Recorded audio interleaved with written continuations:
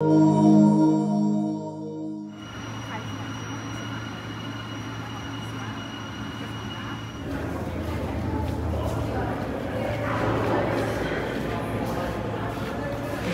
hi, so welcome to our Parkway Tunnel. Uh, the Parkway Tunnel is part of the west extension of the Confederation Line.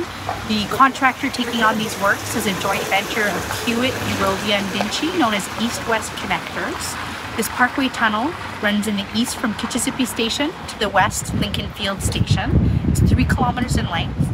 It runs underneath the uh, parkway, so the Kichi Zìbì Mìkan Parkway, previously known as Sir John A. Macdonald Parkway, as well as sections of Richmond Road and Byron Linear Park. So it's in a very important, critical um, location within our, our, nation's capital. Uh, within the Parkway Tunnel, there are two open air stations. There's Sherbourne Station as well as a New Orchard Station.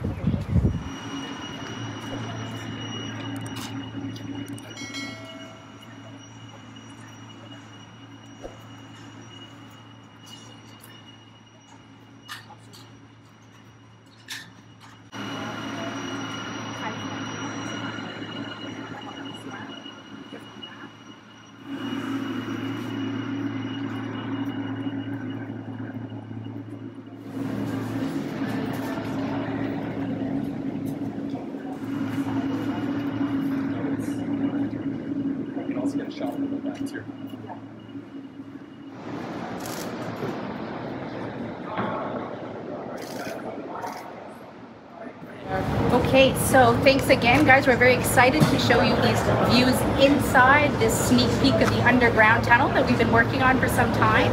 So here, are a few important aspects of the project to talk about. What we saw in our walkthrough was the start of the track works. So it's a very interesting, unique time to be here in the tunnel. There's sections of the tunnel that are complete, uh, sections where it's not complete, so we'll see it in progress, and sections where track work has just started. So what the track work system looks like here, it's called direct fixation. We have the concrete slab or floor. In that floor, we build these plinths. So plinths, imagine as concrete pedestals that are really going to support the rail. So there's one set of pedestals for each rail. The track, each train has two rails. Um, and so the status that we're doing now is we're building out the rebar. So the rebar is first doweled in to the existing slab. We build out the rest of the rebar, we form, um, and we pour that. After that, that will be followed by anchors, fasteners, and the rail. So it's really a, a, a direct, rigid uh, system that uh, supports the rail along the, the full length of the tunnel. Uh, another really important and fascinating uh, aspect of how we've got here today is to complete the, the concrete structure that we see today our contractor has used uh, a very innovative technique known as the Everest Traveler System. So this is a custom um, hydraulic system. Think of it as a mobile um, formwork system that rolls into place. And with this, we're able to pour both, sorry, all three walls. As you see here, we have one corridor for the eastbound train, one corridor for the westbound train. We have two exterior walls, one center wall. This Everest formwork system allows us to pour those three walls and the roof all in one go. So Parkway Tunnel is on the critical path for the project. Schedule is, uh, you know, critically important. And so the schedule savings measure was very interesting, very important. And at, at the peak, we had actually three of these traveler systems being used. Uh, one of which could accommodate curbs. As you see on our walk, we're going to be going through a curved section of the tunnel. So this is really a very uh, important uh, uh, and unique aspect of our project I wanted to touch on today.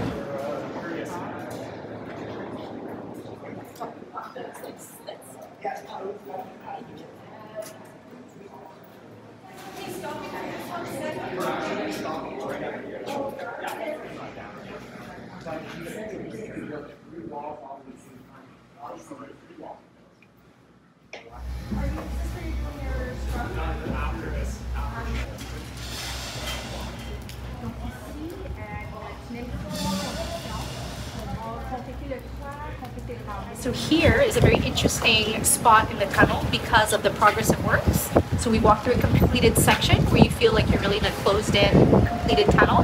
Here the section is ongoing.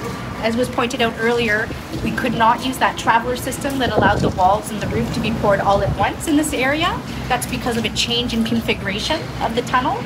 So the traveler system obviously works when you have a consistent shape, a consistent size and, and, uh, and section. here that section changed, and so it's done in the, the conventional form, which is slower. Uh, that involves pouring uh, any number of walls at a time, either one or two, stripping down that formwork, then rebuilding your formwork and false work to support your roof, uh, placing your rebar for your roof, pouring your roof and stripping there. So it's it's more steps, but it's it's required at sections of the tunnel where it's not a uniform, consistent shape. Uh, here you can see as well, if you look up to the top on this side, is uh, the waterproofing that's up along the uh, supportive excavation there. Uh, you can also see the supportive excavation, which changes from one system here that's slurry wall to another system beyond that's piles and lagging. So it's just a really interesting spot. As we get up to the top of that little walkway, you'll be able to see above us that this closed tunnel has also been backfilled. So there's a section there where you see backfill. Uh, so again, this is a very good, interesting transition where you can see the different steps of work that you don't really get to appreciate in a finished section. Uh, what else can we mention? The depth of tunnel in this area varies, but it goes down to up to 10 meters. So that's just an interesting stat. Uh, something to mention as well as we were walking along, what we see mounted on that center wall is the dry fire line system. So that is for in case of fire, uh, that's where the water would be released from. The valves and everything haven't been installed because we're trying to keep as much open area for access for equipment as we continue to build the tunnel.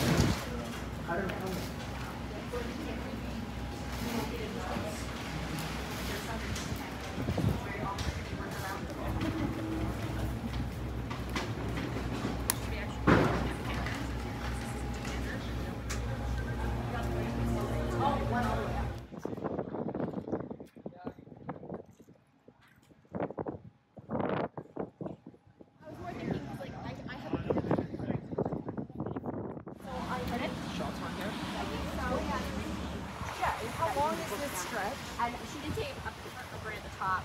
It's gonna be all So we are right on top of Sherbourne Station. On this side is where we'll have the, the single entrance to the station. There's a staircase as well as an elevator. Um, we have some, you know, really interesting, important connectivity features that come in the area. Along Richmond, there's going to be a multi-use pathway. Along Byron, there's going to be some drop-off pickup spots. Uh, along the center here is where there's going to be the platform. So people are going to go down, that's the platform.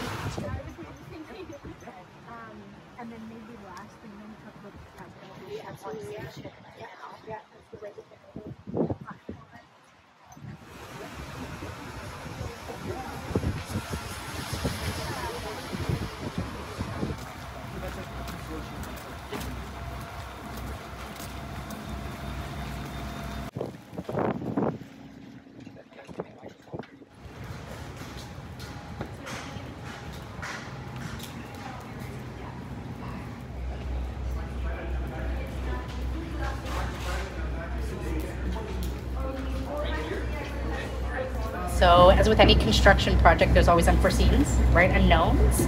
Um, main uh, items that we had to navigate, uh, obviously, with our constructors in this area would be site conditions, you know, rock quality, uh, soil conditions, um, and then um, over the past few years, there's been, you know, COVID that we've had to navigate. There's been, uh, as a result of COVID, some uh, workforce shortages, and so that's another sort of complexity that has added to the uh, the last few years of this project. Absolutely. So a big difference between the stage one and stage two on the city side, on the sort of construction management side, is actually the entire team that I have. So there was no dedicated construction management team in stage one.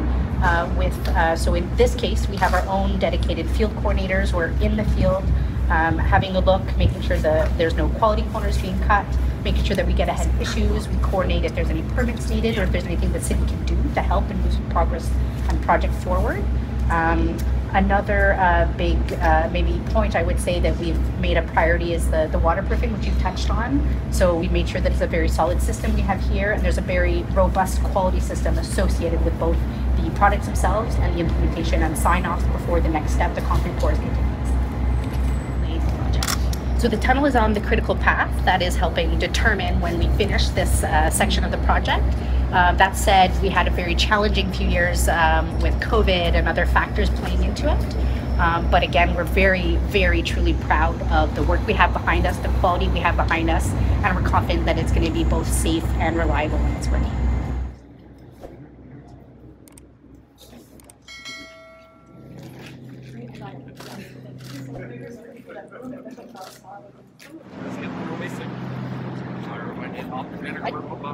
I-